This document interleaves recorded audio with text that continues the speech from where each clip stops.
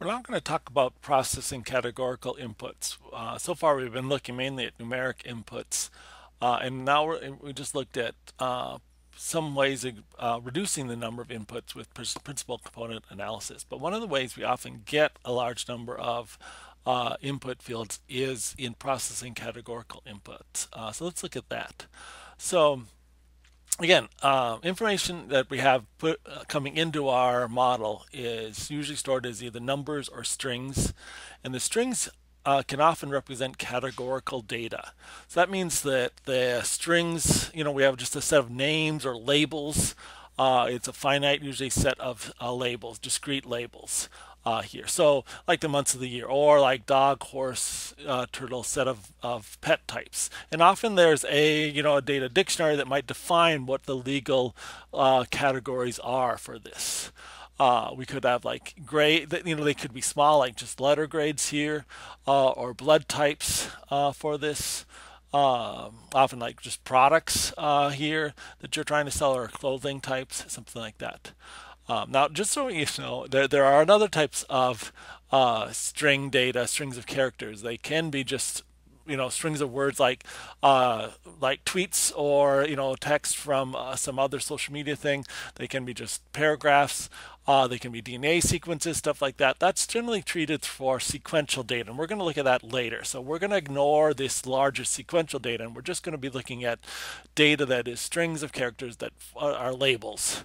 Uh, uh, uh, in a finite set of discrete labels here. Okay, so when we look at these, it's important to decide if they are ordinal or nominal. So what does that mean? So sometimes there's an applied order to these things. Uh, and so that if they're applied order, they're ordinal ordered uh, here. So like the months of the year, January, February, March, they go in an order uh, here and we start with 1 and generally go to 12. So we generally always number them the same way and stuff like that.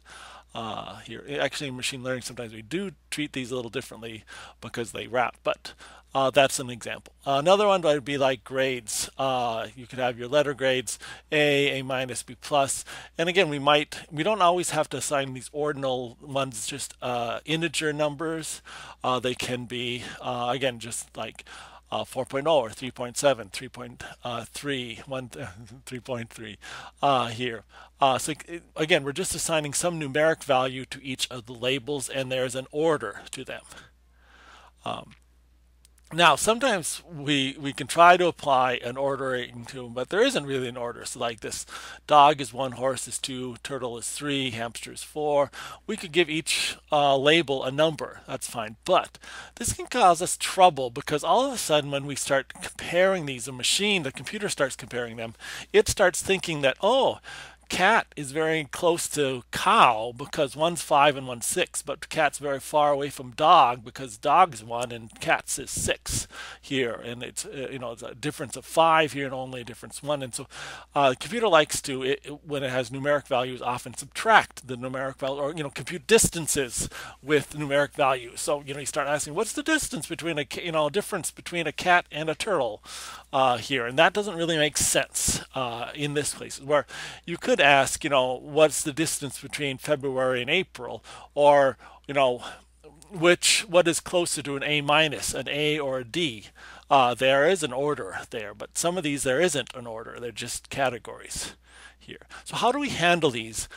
nominal categories. So again, no order here. We, we tried to create an order, but there really isn't one. These nominal uh, things, how do we assign those? So what we generally do is uh, give do what is called one hot encoding on these. So we take a species or you know a single field like this like pet species and we'll create a separate field for each of the possible labels. So what are the different types of pets? We have dog, horse, turtle, hamster, cat, cow, whatever here. And so we create an extra feature and then we'll just put in a one if that pet is a uh, dog or uh, one if it's a horse and then zero otherwise. So like if if this is a each uh, row here is like a different pet, there's always going to be one hot one, one one uh, in each row here. And that's why it's called one hot encoding. So it's always things like 0001 meaning it's a hamster and not so basically we're saying this pet here is not a dog it's not a horse it's not a turtle it is a hamster it's not a cow and it's not a cat here. So we have this encoding for this. Um, now that will um, expand the number of features so we might have a set of um, features here um, for pets. We might have the pet name, uh, the pet height, the pet weight, and the pet species uh, here. Now these are numeric values, so those are not category, those are nice. The pet name we probably don't even need to worry about. We're probably not, we can maybe ignore that uh, here. Um, but um, the pet species is a category, so we're going to break that up. So this database data set will be broken up into again we leave pet name pet height and pet weight. These are two numeric fields and again this is more like an index or something like that. But this pet species we're going to break it up into um, six different fields with one hot encoding. So Alvin is a chipmunk here. He weighs uh, he's seven tall 15 whatever units in weight He's not a dog, not a horse, not a turtle. He is a hamster, so there's a one there. He's not a cow and not a cat. So we use this one hot encoding for Alvin. Where Scooby is a dog, so uh, we have a one for dog and then not horse, zero for turtle, not hamster, not cow, and not cat. Okay, so that's what we use for one hot encoding. We often, we can write these as dummy variables. Sometimes we actually just store them in as little arrays. So like Scooby would be written this way. Uh, and it does it apply an ordering here. Uh, so it would be one zero zero zero zero zero, and then Alvin the chipmunk would be this. Where's Alvin? Zero zero zero one zero zero here. So. So again, that's just a, a way we'll use uh, frequently for managing categorical variables, especially when we get to uh, more advanced models like neural networks will need to do this sort of process uh, to feed it in. Now, there are some models that can handle categorical models like uh, often um, decision trees can actually work some decision trees can work with um, these labels like this and can uh, can manage that but uh, most uh, models uh, can't work with this categorical data. We need to convert it to some sort of other data. Now, we can generate lots of dummy variables with this. So let's say we just have a, a database of pets, and for every pet, we keep track of the, uh, the state they're from, the county they're from, the city they're from, uh, here.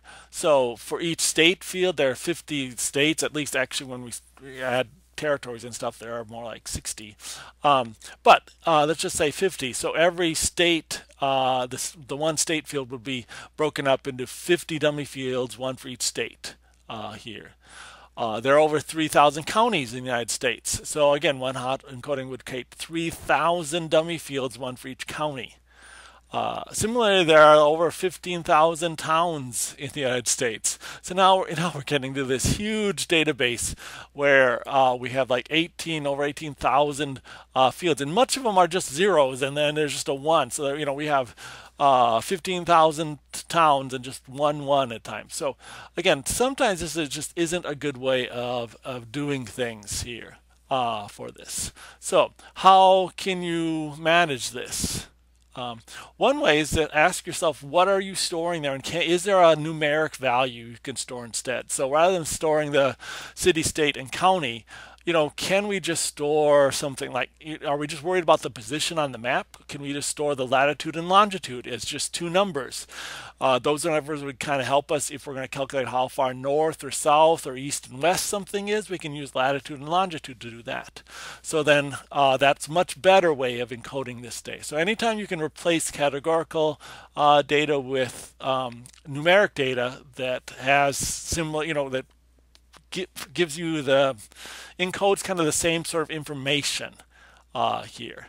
You know, so like if you're looking at pets and you may want to know how cold it is or how far north or south it is, you know, probably you could say, you know, install encode the state so that, you know, a pet in Minnesota is going to be different than uh, a pet from Texas as far as the needs and what it's used to. Uh, but again, la latitude and longitude would have similar features to it uh, as far as the latitude goes. Okay, so besides that, um, Another way is to look for places where you might have uh, complex uh, categories that can be broken up. So often in, in um, products, we have things like medium blue t-shirt uh, or extra large sweater here. Uh, and so if you start looking at all the combinations of products here, there are just thousands of products uh, here. And that would generate thousands of dummy variables to keep track of them, where it's probably uh, easier to just break this up into maybe the, what is this, the size, the color, and the, the type of, of object here, of clothing. So maybe there are just 10 different colors and five different sizes and six different types of clothing. So then rather than including encoding a thousand different possible combinations of, you know, medium blue t-shirt and medium white t-shirt and medium yellow t-shirt and medium blue pants and medium yellow pants, you know, all those different combinations, you can encode the these individual features uh, and you'll get much fewer categories and then much better one-hot encodings. The last thing you can do if you can't, if none of those help, there are times where you just have to do um, this sort of encoding is to look and see if you can use uh, dimensional reduction. We talked about PCA and applying PCA. Now, PCA, uh, principal component analysis, we didn't talk about too much, but it really is set up to work with continuous values uh, or you know values over a wide range.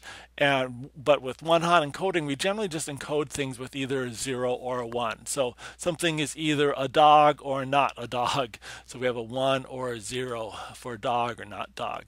So when we're encoding things like that, they're, they're, that's not a great uh, it doesn't work out well for principal component analysis sometimes. Um, and how it all works. And so in general, if you just have a set of fields that are all encoded, uh, all one hot encoded of the same basic thing, and there's only one uh, one in each, and all the rest are zero. Principal component analysis is really not going to help you much.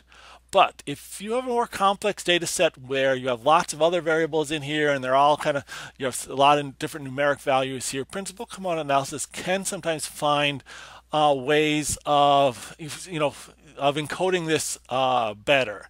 Uh, here. Maybe some way of encoding the size, height, and weight of a pet along with its species uh, here might be helpful uh, for this. So um, now this is a kind of complex and still up in the air kind of discussion. So if you're looking for uh, like a discussion topic, you might want to just Google principal component analysis and one hot encoding uh, here. Uh, it's interesting to see some discussions on that. If you're interested in looking, you might also want to look at uh, kind of beyond the scope of this, but or this course is multiple correspondence analysis, which is a more complex way of doing uh, dimensional reduction with this sort of discrete value stuff. Okay, so that's a quick introduction to how we handle categorical data and in particular how we can often use one-hot encodings to break categories into a whole set of features encoded that way. Hope you enjoyed this.